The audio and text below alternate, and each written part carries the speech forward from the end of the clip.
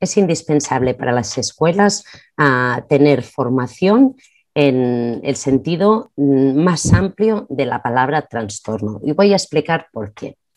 Lo que pretendo en breves instantes es visibilizar la realidad de las aulas y generar confianza en las familias, aportando la idea que debemos ser los y las maestras quienes nos adaptemos a cada circunstancia personal de cada uno y de cada una de nuestras alumnas y no al revés.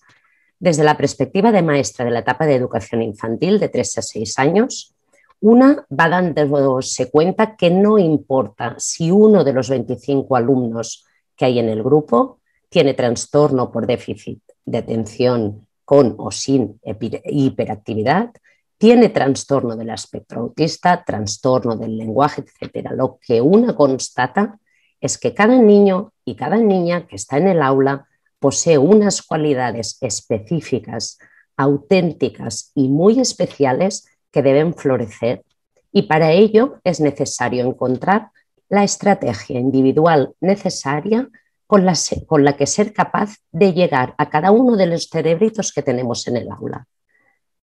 Mucho empeño es el que una maestra pone en individualizar las explicaciones, en personalizar los aprendizajes, en hacer adaptaciones curriculares que al final han demostrado poca eficacia y consiguen en muchas ocasiones, tal como se ha dicho, el efecto contrario, alejar al alumno del currículum que, que sigue sus compañeros en clase, pensar que él es el tonto y reforzar la idea de que es el alumno el que tiene el problema y es el único que debe cambiar.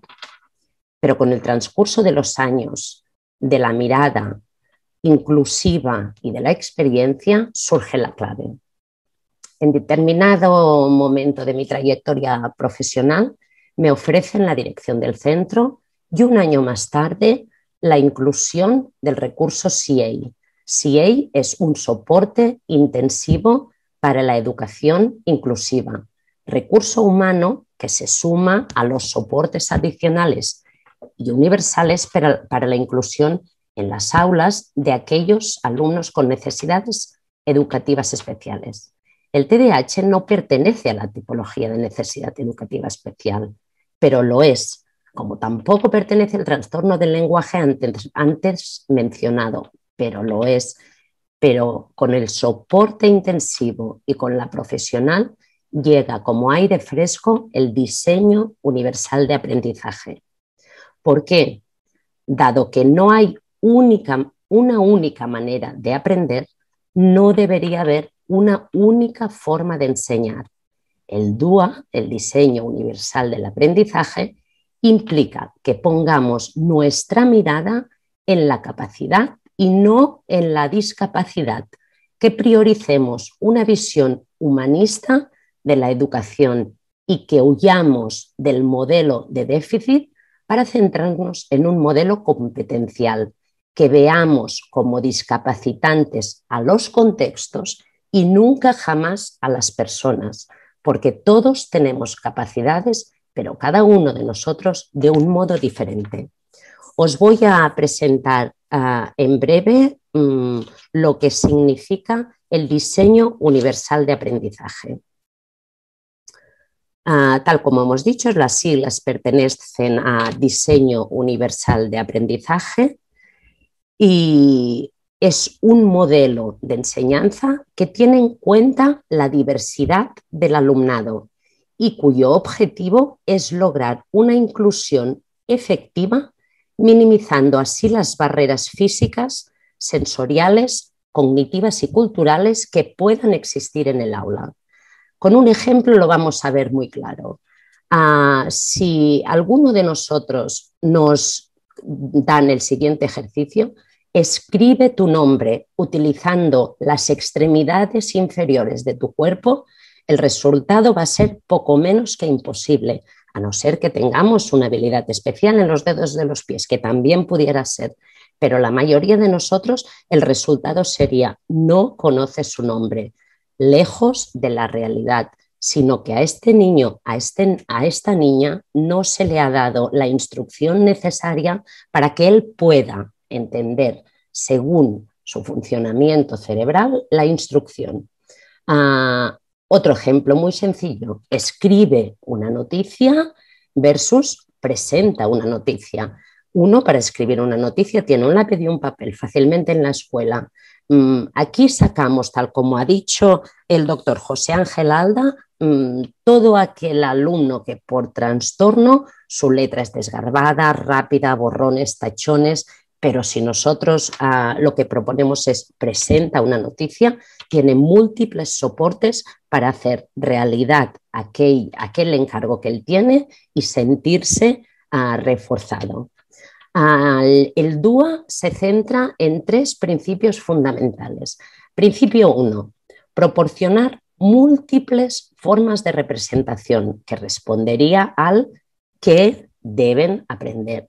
Ah, en este caso somos nosotros, las escuelas, quienes debemos apostar por proporcionar diferentes opciones para la percepción, proporcionar múltiples opciones para el lenguaje, para las expresiones matemáticas y para los símbolos, y proporcionar opciones para la comprensión de que todo aquello que nosotros ah, queremos mm, poner en el currículum dentro del aula. Un segundo principio importantísimo sería proporcionar múltiples formas de acción y de expresión. Y aquí respondería al por qué debemos aprender.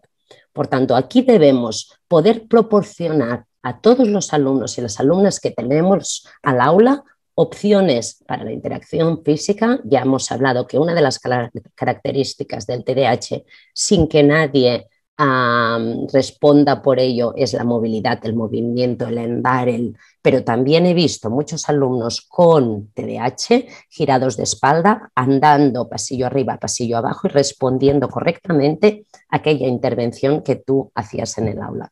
Por tanto, debemos proporcionar opciones para la interacción física, debemos proporcionar opciones para la expresión y la comunicación y proporcionar opciones para las funciones ejecutivas.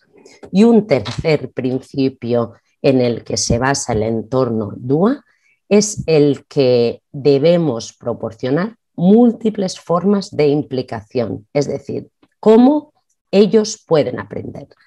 Debemos proporcionar opciones para captar el interés, debemos proporcionar opciones para mantener el esfuerzo y la persistencia y debemos proporcionar opciones para la autorregulación. Si nosotros diseñamos todas aquellas actividades en las escuelas ah, desde el entorno DUA, aquí no habrá ningún alumno, ninguna alumna con trastorno o sin que se nos escape, ninguno.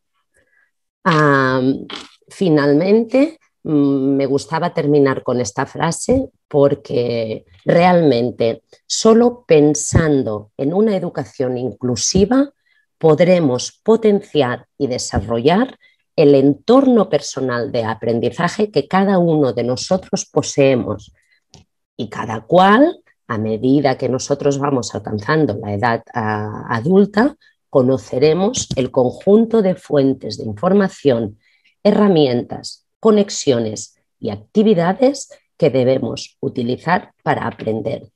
Y tal como muestra la imagen, dejará de ser un desierto para muchos niños, muchas niñas con trastorno y pasará a ser un trabajo de equipo. Y esta es, esta es la aportación desde, desde, el ámbito de la educación mm, que yo deseaba hacer. Sí que es verdad que mm, chicos, chicas con trastornos en las escuelas hay, cada vez hay más. Es indispensable contar con un buen asesoramiento Ah, por parte de profesionales como los que tenemos hoy ah, entre nosotros y decir a las familias que cuanto antes ah, ponemos un nombre que no una etiqueta a un trastorno, más rápido podemos actuar desde las escuelas.